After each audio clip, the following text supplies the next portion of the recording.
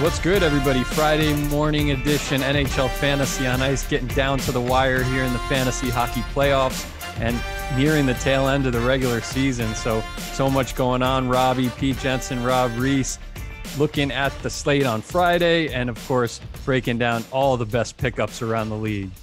Yeah, so Petey, I think we've got to start with the Rangers obituary here. I guess they're not mathematically out yet, but just couldn't get up for that game against the Islanders. Um, some funny things too for fantasy owners. Actually, before we get too far into it, keep an eye on these last minute lineup changes. We had a couple things break at around yep. 6:45 to 7 p.m. last night, Pete, where uh, Foligno took a maintenance day. Uh, Chris Kreider was announced at 7:01 p.m. that he was on the maintenance shelf. So, as a fantasy owner, you got to be dialed in right now uh, with these teams announcing at the last minute, unfortunately. I hope nobody here got burned by that.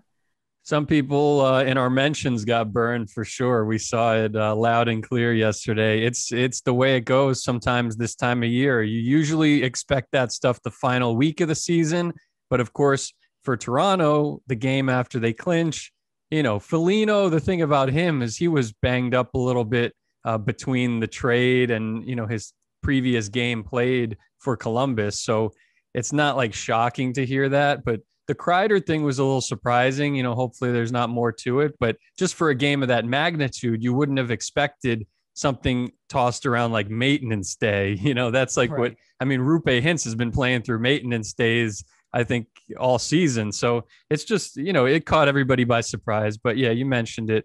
Uh, be on the lookout, especially and for the goalie starters too. You never know uh, I know sometimes you have to between two or three. Sometimes you might find out at 6:45 p.m. Eastern that it might make the decision for you because someone you thought was going to be in is not in, and then it'll you know you could slot your two stars in. I know that we had Spencer Knight in yesterday, baby, and he got another win. He's got a 943 save percentage through his first three NHL appearances, and all of a sudden he's ahead of Sergei Bobrovsky in our rankings for the rest of the season. I know it's a short span, but uh, the new era is upon us, right, Robbie? It is, Pete. And it's funny because you, you kind of saw this too with Tr- Chris Driedger earlier in the season, where once he got hot, they started rolling him out a lot. Uh, then he, you know, he he played well all year, right? There was no real reason for him to for them to go back to Bob, but they always gave Bob that veteran treatment to go back to him and, and let him try and, and capture the crease, but he never did. He played at a 905 this season, Pete, behind a defense it's pretty good, behind a forward group that's great. And that's just not good enough. So when you see Spencer Knight come in here, three straight W's for the rookie, playing at a nice save percentage there. I mean, you have to think that now this conversation is going to go into the postseason. I don't think this is just a tail end regular season storyline here. I think they might be looking at Spencer Knight to roll out there uh, in the starters crease for the first playoff game.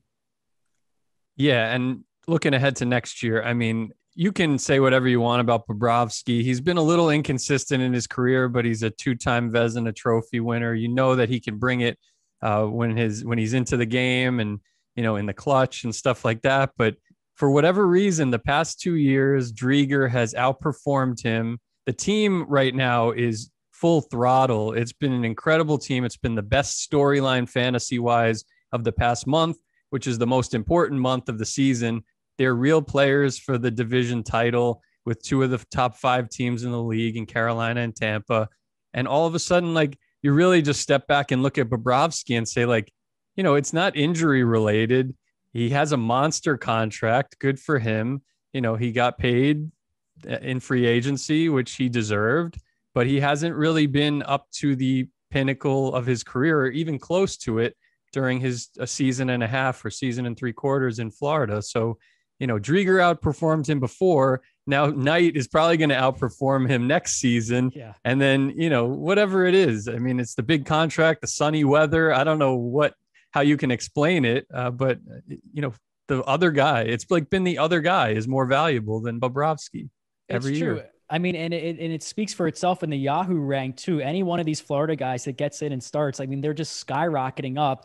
And Knight could finish pretty high if he raffles off a few more wins to start the season. Pitches another shutout or two would be tra- tremendous to see as a rookie. But I, I think when we look at Bobrovsky, and this will always happen, you know, in your fantasy draft next season, someone's still going to take the player because of the pedigree. You know, we see that with other positions too. Once you establish that name value, you're always going to get selected within the top 100. So we will see Bobrovsky probably go in a similar place next season. And there's no question. I mean, he could still turn on his game and recapture that form. But I think we've seen enough from this shortened season where Driedger and both Knight really flourishing when they get the starts. I think that says a lot, especially in keeper leagues too. Now, if you've got a guy like Spencer Knight, you know, I don't want to get too high on Florida, but I think they deserve it at this point. We've seen enough now, Pete, where this is clearly not a fluke. They've got great chemistry.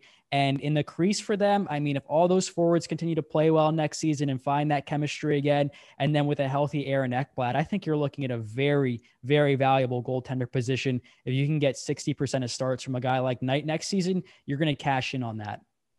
And they're going to be a fun team for people to bet on, even without Ekblad this postseason, especially if it's Knight.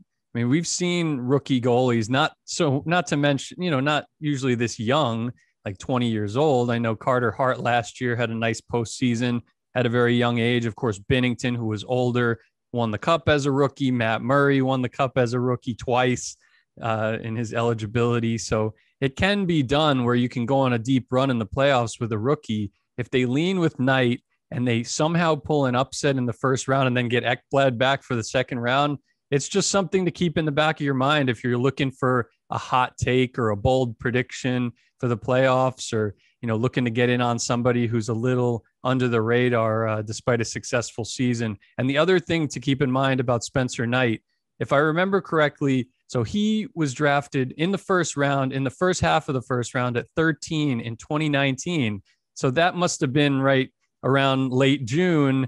And then they signed Bobrovsky after that. So like it, it was just like interesting that they made an investment in a in a rookie goalie or a future stud goalie. And then they also signed a big goalie in free agency. So they like they've done a nice job. And then the rest of their salary cap picture is as good as anybody's in terms of affordability and value and even their superstar players. I mean, they're not dishing out the money that Toronto and Edmonton are for their star players. They got those guys, Huberdeau and Barkov, at affordable deals, uh, considering they've been elite every single season lately. So hats off to Zito. But even before Zito, uh, they've been doing it the right way for a while. And now it's like coming to a head, and it's a really good look for the Panthers long term.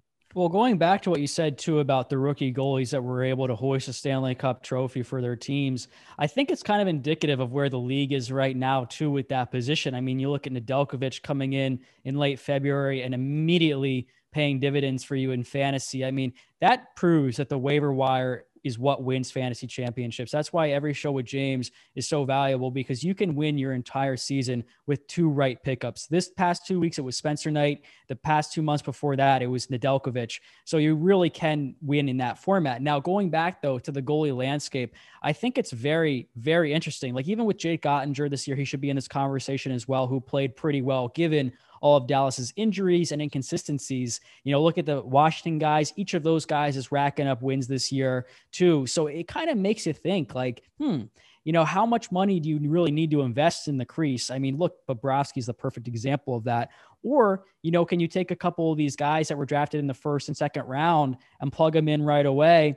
And it could lead to success. I mean, even Washington is a team that they gave up five goals to the Pittsburgh Penguins on Thursday night, they were in that game. They took it to overtime with a rookie goalie, right? I mean, anything can happen. One of these guys can get hot at the right time and go on a run a la Matt Murray. And there you go. You've got another Stanley Cup championship. So it's a really interesting storyline. I think, especially in fantasy too, we saw it this year, Pete. You know, if you dropped Sorokin, you know, after he wasn't playing much in the first month or two, you got burned by that. So it's something to keep an eye on, I think, for next year, especially when you're trying to invest at the goaltender position in fantasy. Right. And even Kahkonen, before he kind of got banished and got no playing time in the second half of the season, and he was early in the year was as hot as anybody. And don't be surprised if, you know, if there's an injury in the playoffs, say to a to a Varlamov or to a Cam Talbot, and one of these rookies gets a gets a, a nice uh, opportunity. I'm not saying it's going to be one of those two. I mean, I guess it could be Sorokin. It could definitely be Nedeljkovic.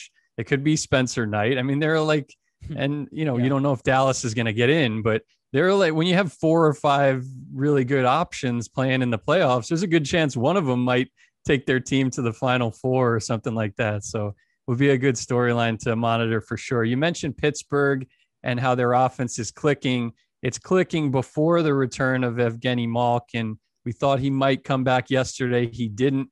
Uh, Kasperi Kapanen went off anyway, scored two goals, had a really nice game. Has really good numbers on the season, by the way 26 and 35 in his points and plus 15. And he missed time because of injury himself. So, you know, for me, Kapanen picking him up now and then hoping he plays with Geno when he comes back in a couple of days.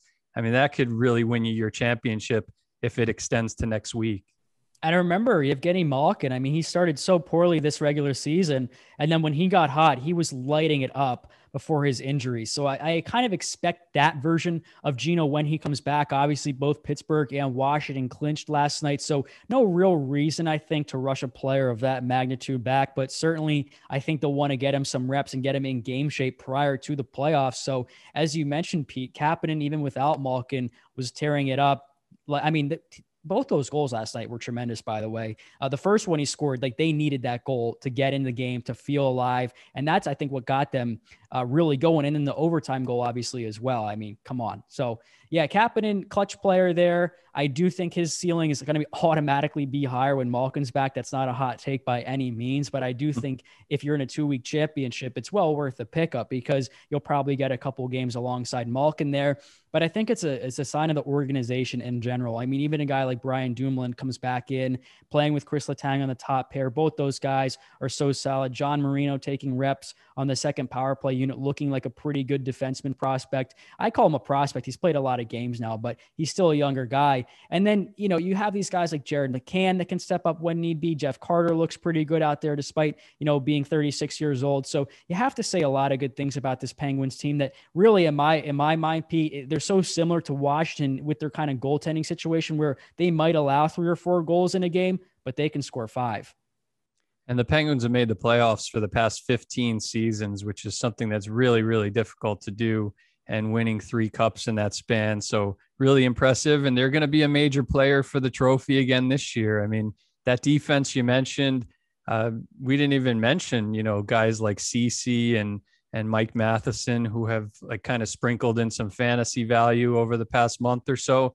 And the thing with Pittsburgh, it, it you feel mystified every time you see it but it seems like almost every year they they lose Crosby for a month, or they lose Letang for a month, or they lose Malkin for a month and a half, and they still find a way to make the playoffs.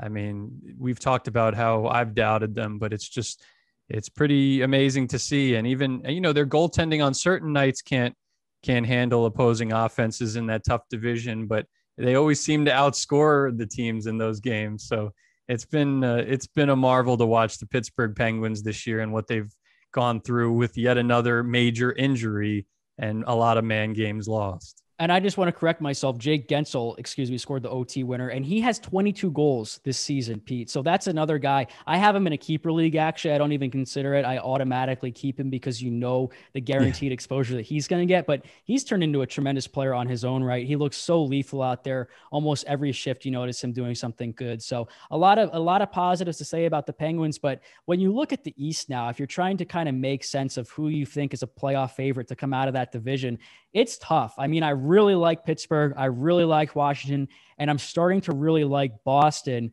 Taylor Hall scored against his former team in the Sabres last night. So those three teams look great, but then you can never discount the New York Islanders, as we saw on Thursday night. They go out and romp the Rangers for nothing. Uh, and, and, Bob, uh, our producer, mentioned before the show that the Islanders were dogs. They were underdogs in that game and beat them down for nothing. So I think when you're looking to make sense of that division, Pete, I mean, it's a coin flip for a lot of these teams. I, I would, if I had to rank them right now, I think I'd go Washington, Pittsburgh, Boston, Islanders, but any one of those teams could come out and it wouldn't surprise me in the least. Right. You look at the Islanders when they're clicking, could definitely beat any of those three teams. I think the toughest matchup for the Islanders would be even though they haven't really succeeded much against the Penguins this year, the toughest matchup for me would be if they play the Bruins. I think they could beat the Capitals. Yeah, it's just like you could you could think about that one for two weeks with no games being played, and it still wouldn't be enough for you to you know put your finger on uh, which team you like the most for sure. So I do think Boston's starting to click at the right time. I know they're taking advantage of a lot of these games against the Buffalo Sabres, which is fine. But yeah, I just think like them having two strong lines, having three strong goalie options if they need them. I sure as heck like Boston's goalie trio more than I say like Colorado's right now. Sure. So like that's one thing you could say. I know it's a little little bit tougher road in the East, but uh, not by much. So I think Boston's equipped to get hot at the right time and and uh, get back to the Cup final maybe.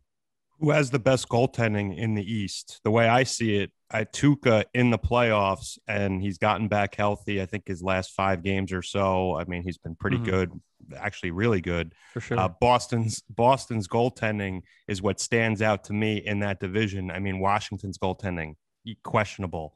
Uh, Pittsburgh's goaltending questionable. And the Islanders, you know, their goaltending has to be absolutely spectacular during the playoffs, or, you know, usually because they don't get enough goal support. So I like Tuukka. Would anyone be surprised if Boston comes out of this thing? I mean, they're a championship medal team. They got Tuukka. Taylor Hall's playing well. Um, so when I look at this division, it's a total mishmash. Who the hell is coming out of it? I can't tell you, but I mm-hmm. like Tuukka between the pipes in that division to come out. Oh, and this has been the hardest division all season long, too. I mean, these are juggernauts. These four teams are very, very built to win championships. All four of them are. Say what you want about New York Islanders scoring. I mean, if they get the first goal in a game, Bob, they could lock it down for the next 40 minutes. It'd be the most boring thing you've ever seen in your life. It doesn't matter. They're Absolutely. winning. You, you, know what I mean? So it's like, I don't think that that argument is even valid anymore. Like, yeah, I'd, I'd, rather see, you know, Geno Malkin out there ripping it up, but it doesn't matter, you know, so much. I think my only concern with the Islanders is if the opposite happens, yeah. the other team scores first, then you're like, okay, now it can be blown wide open because if the Islanders start pinching down, their defensemen start playing up a little bit, that's when they're vulnerable. But then you have to consider they've got Varlamov back there, who's been great, who's built them out a number of times. Sorokin, if need be, has been tremendous uh, for Barry Trotz and company. So I don't have concerns really about this Islanders team so much. I wouldn't be surprised if the Islanders came out of the, the East Division because I think they're the the second uh, team that has the, the goaltending in that division, you know, with Sorokin and, and Varlamov. So it, will be fun. I can't wait for the playoffs to start. You know, there's a little bit of a lull here with the fantasy. The season's winding down, but once the playoffs get going, opens up more conversation you know the the betting circles open up a little bit more. So i'm just looking forward to the playoffs you know it's been a it's been an odd season starts and stops fantasy forget about it it's been impossible. Let's get to the postseason and let's get going uh see who who lifts the stanley cup.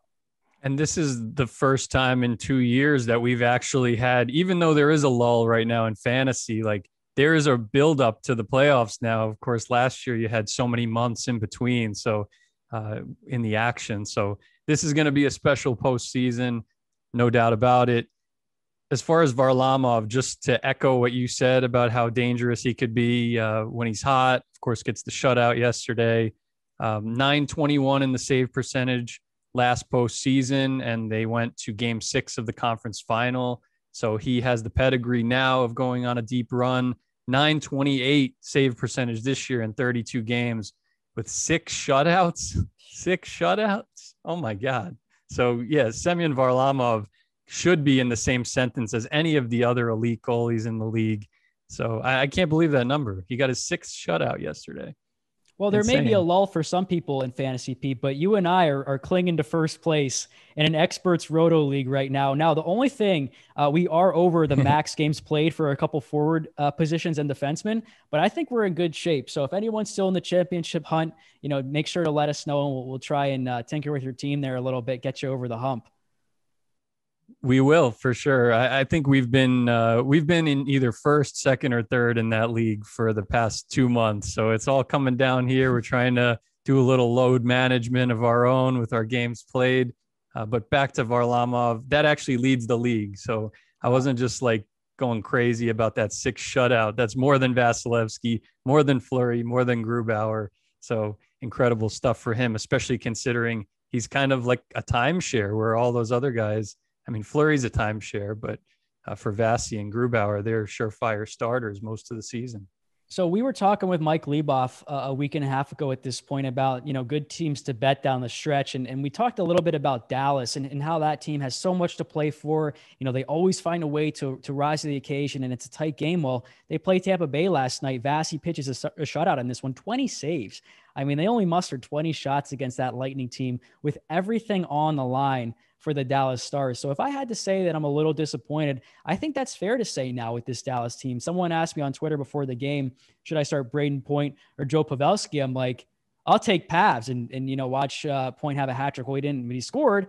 And and you know Dallas has nothing, Pete, to answer. And it's like you're watching the game and you're like, come on, just just get it in there and cycle, do something. But they were pretty lifeless in that. So I think that's one team. I hope they get in because Bob, I think they could take down anybody if they do get in. But man, they got to get there first. Yeah, I do. I do want to see that Dallas uh, matchup with the one seed there in that division, whoever it ends up being. But we talked about Dallas's schedule there. I mean, a lot of games, condensed schedule they looked out of gas. I mean, you you said it, Rob. They just didn't have uh, the energy. It didn't seem like to muster to to do what they need to do on offense. So I think uh, I think whatever it was, what eleven games in nineteen, whatever the mm-hmm. number was, it was a lot of games in a short amount of time, and uh, they might be running out of steam here. The Dallas Stars are having trouble with Tampa Bay this year. They're one in five against them, and they still have to play them two more times on the road before the end of the season. So that's I'm not liking that trend at all. So, I mean, Nashville, there's definitely an opening for you. Saturday, May 1st, we're on the cusp of May already. Can you believe it? But Saturday, May 1st, Dallas at Nashville. That could be one of the games of the year. So yeah. I'm definitely looking forward to that one. Maybe the winner of that game gets the upper hand for the fourth spot in the Central Division. But yeah, for Dallas, uh, I know fantasy wise, like Jamie Benn and Gurianov on the second line were really erupting for a while. Of course, now they got shut out. So we'll see what they're able to do here down the stretch. I saw Tyler Seguin uh, skating around the rink the other day. So maybe he's getting close. You'd love to see him play in the final five, six regular season games. So maybe that's a storyline to watch. Just total speculation, but maybe for a game of that magnitude on Saturday, keep an eye on Tyler Seguin if he's out there on the waiver wire. And, and the Nashville Predators face off against the Stars Saturday at 8 p.m. Now, I was listening to John Hynes uh, on At the Rink podcast, and he just sounds like a guy you, you want to play for. He sounds like he's really dialed in right now and focused. I would say this I don't love the Nashville Predators team makeup, like on paper. I don't love them, but I think they have enough, Pete. If they do buy in, they get the defenseman going. Now they split, uh, you know, two games with the Panthers. They took one, which is good enough against a team like the Panthers. But I think that Dallas game on Saturday is going to be the game that you want to watch and see if Nashville can rise to the, you know, that occasion and beat a, an opponent like the Stars who's breathing down their necks right now in the standings.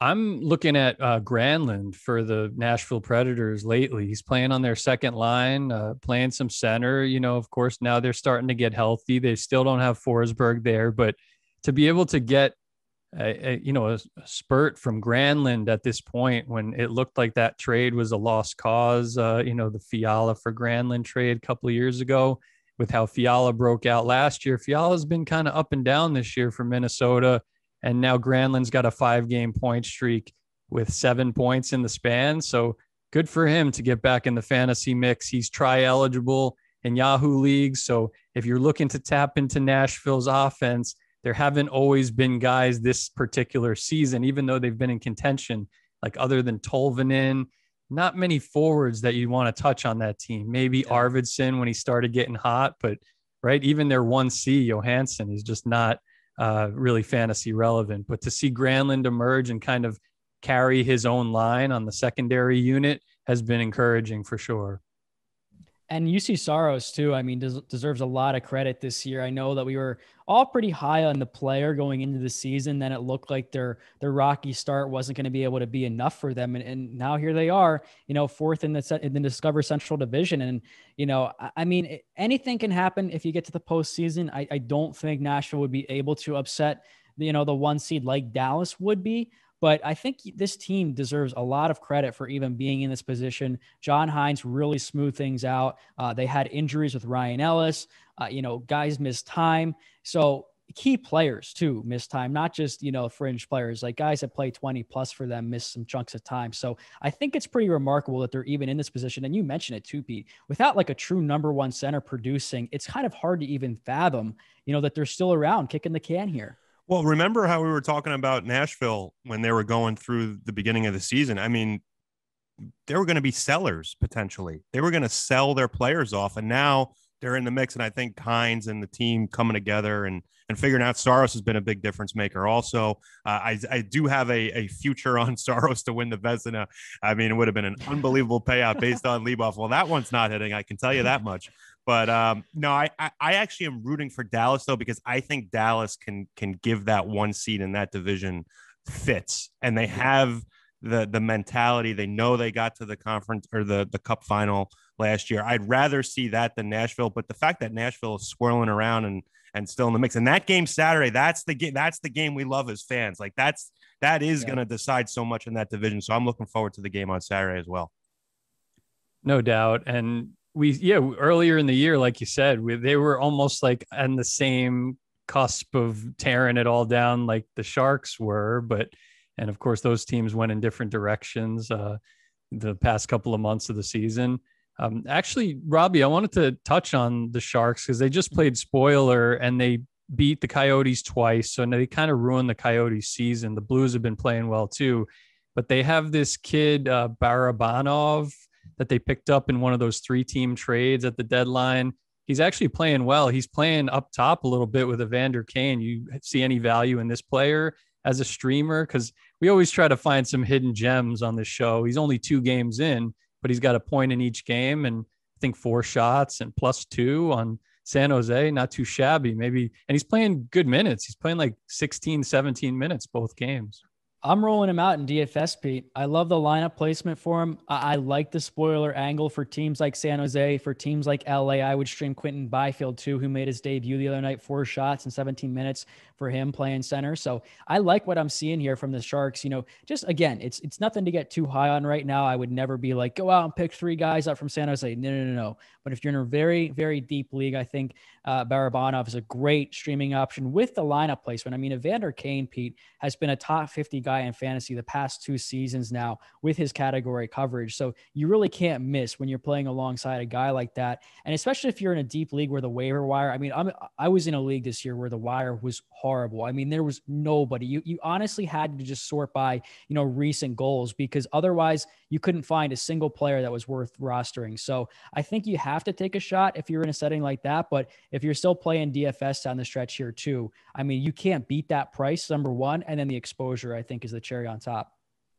for the waiver wire right now this is going to be uh, you know some games tonight some games on saturday and then there's one game on sunday between tampa bay and detroit mm-hmm. so we're already getting questions which goalie is going to start for detroit on sunday should i pick up mcelhinney hoping he starts should i pick up uh, what Barre-Boulet, who's playing on the top line for the Alex Barre-Boulet for the Tampa Bay Lightning. That's the one guy that I would say great lineup placement. He scored two goals in his past three games playing up there, and he's got 12 shots in the three games. So that's another hidden gem pickup by the Lightning, undrafted player, and getting the opportunity with Stamkos and Kucherov both sidelined. Yeah, I mean, and Killorn's on fire. Uh, uh, Coleman scoring now. I mean, it's just an embarrassment of riches for the Tampa Bay Lightning. It doesn't even matter who's up there playing 17 minutes. Give him a jersey. I've got him in my fantasy lineup no matter what it says on the back of it. So that team is tremendous. Like they are, I mean, they should win again. They really should. Without Kucherov, without Stamkos, the way that they're still rolling off wins against good teams, Vasi's playing the best hockey out of any goalie the past three years. I mean, this guy, every night you feel good about him starting, Pete. It's ridiculous, honestly. So I like this Bolts team a lot. Again, that's that's not a trendy take. That's not a hot take, but I think they deserve a lot of credit for their injury situation. It's not easy to play without a guy like Kucherov. It's not easy to play without your captain and Steve Stamkos. So major credit deserved there. Again, definitely pick up Barré-Boulet. Love the name. Love the player. Definitely some flashy edge there to him. And when you're playing 17 minutes for the Tampa Bay Lightning, you could do a whole lot worse. Now, Detroit, on the other hand, though, this weekend, I do I do think they have some sneaky appeal. I think Vrana's been a great shot in the arm for them. Really big boost. He scored another goal last night, played 21 minutes, which that has to be close to a career high for him. He never got that opportunity in Washington. So I would I would go out. If you're trying to win, if you're trying to be aggressive, I think Thomas Greiss could be the guy to do it. I told Davey that this morning. That was prior to my coffee, Pete. I'm not sure if that's a good move. It's definitely not as bad as the Anthony Stolarz move. I'll say that. Um, so I'll be watching that Detroit game this week, and you can count on it. And Jakub Vrana on the cusp of top, or he is tied for eighth. So he is in the top 10 in even strength goals this season. So, um, and that could definitely continue. He could climb that list by the end of the season. So, yeah, he's a lineup lock for Sunday, no doubt. Greiss, some hidden gem value.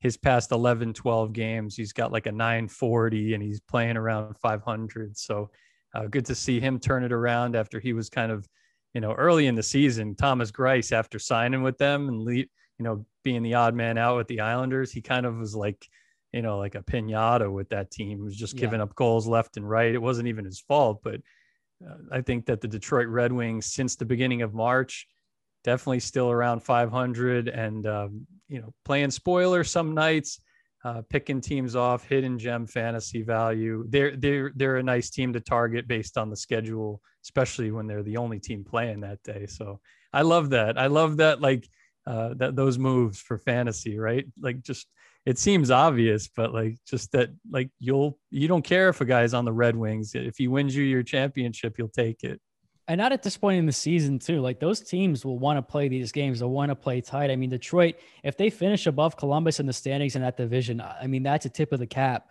to their management to their coaching. Like that's something that not a lot of people would have predicted at the beginning of the season. So i think that deserves some praise. Before we wrap up though i've got to bring up one last storyline out of left field here is the calgary flames are somehow still in this playoff race here. They're now right behind the Canadiens. Now they've had one more game than the Canadiens, so they have one less to finish, but they play the Canucks four times, I believe, because of all those games that got postponed. I mean, that could be four wins right there. So this race, you know, I'm shocked that Calgary's even in this thing, but big win against Edmonton on Thursday night. And now all of a sudden, if they can get these games against Vancouver at the tail end uh, of the season, they could sneak in. And I have one guy in my weekly league, Elias Lindholm. I think I mentioned him on a previous show. He's leading them in scoring, I believe. He's he has been a lineup lock for me in that league.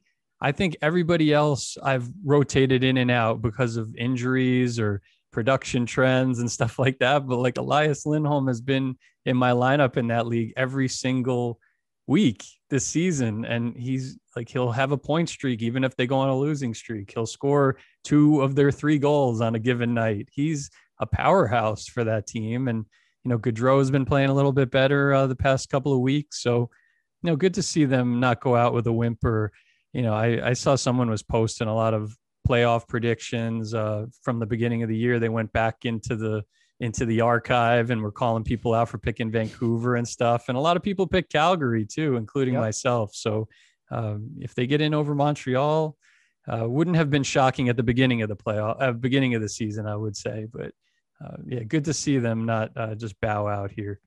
And for Montreal, I mean, six and ten in the month of April. You know, after a coaching change and everything, just I don't know. It probably doesn't leave a great taste in, in the fans' mouths. And unfortunately, John Drouin, uh, who I, I still think is a key player for them offensively, even though he had a down year production wise, is taking an indefinite leave from the team. So, you know, something to keep an eye on for the Calgary team. I mean, Markstrom, as we know in seasons past, especially in fantasy, he can steal games. Uh, it doesn't matter who they're playing. So I'm going to be watching their games with a little bit more excitement now.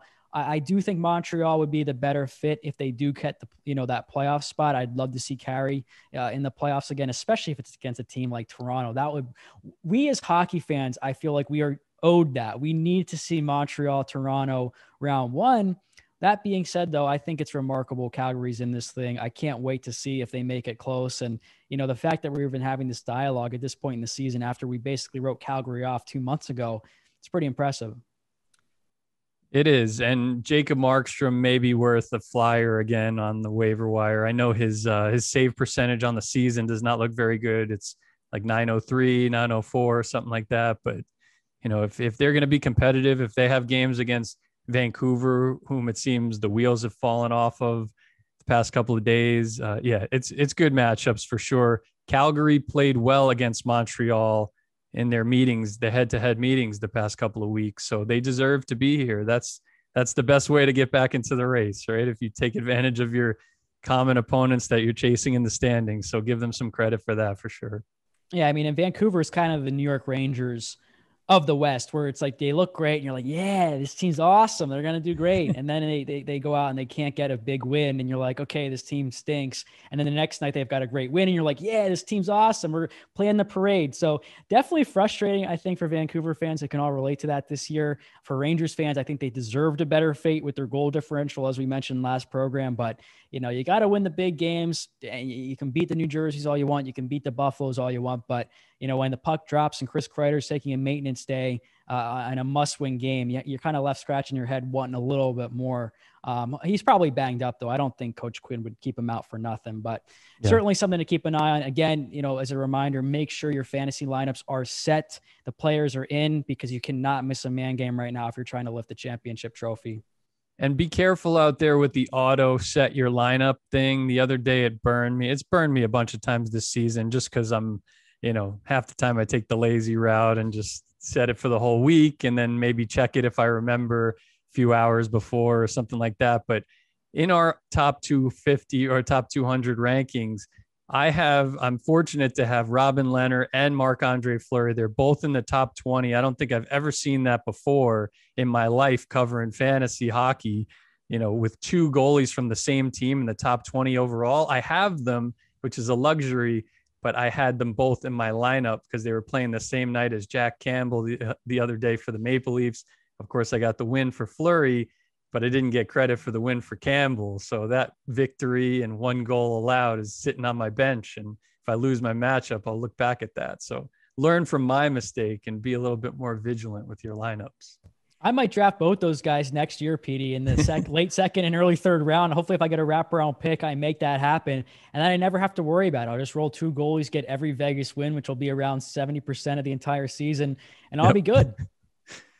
It's true. That was that was the idea of, of what I did, but I was able to get Fleury a lot later than the second or third round. I think it got Fleury in like seventh or eighth round or something like that crazy. But yeah, and Vegas, you know, looks like they're gonna win the division, but I mean, before we wrap, I, what are you worried about the Colorado Avalanche? What's going on lately? They've lost a couple in a row. Um, I don't know. They're going to get some guys back on Friday, right? Like some Grubauer maybe or Donskoy, Rantanen. Mm. Are you worried? Because the timing of this couldn't be any worse for a team that so many people picked to win the whole thing at the beginning of the year. No, I'm not worried at all. I mean, this team could sleepwalk into the postseason. It wouldn't alarm me. Uh, when you have a guy, a leader like Nathan MacKinnon, you, you can never press the panic button there, especially if he's healthy. Rantanen coming back again, no rush there, but hopefully he gets some game reps a la Geno Malkin here before the playoffs. Uh, goaltending, that's the only area where I say, yeah, yeah, I don't love that. If it has to come down to Dubnyk or or JoJo in the playoffs, that's another story. But I don't want to plan for worst case scenario. I mean, Grubauer has been in the Vezina, uh, you know, trophy race all season long, deserves it. Uh, he's played tremendous for them. Their defense, I mean, so deep uh, with Devon Toews, Samuel Girard, Cale Makar. I mean, this guy's scoring every night now with a point. So I'm not worried, Pete. I, I do want to see, you know, their goaltending situation with Grubauer. I want to see him get in a couple reps here and play well before the postseason. But beyond that, I think that's a team that just is ready for the postseason. They did their work in January, February, and March. They're good. I think they'll be fine. They have had some surprising defensive breakdowns, even though they're only allowing like 20, 25 shots a game, even during their losing skid right now. But a couple of the goals they've been giving up have been concerning with the defensive breakdowns and odd man rushes. It's just not something you normally see from the Avalanche because they do have such a deep defense. And then the other thing with them is just Kadri. I mean, where has this guy been in terms of actually finishing plays yeah. and putting the puck in the net for the past two months. If you get playoff version Nazem Kadri for the playoffs this year, like he got last year, they will be just fine. They might go all the way, but can he just flip a switch like that?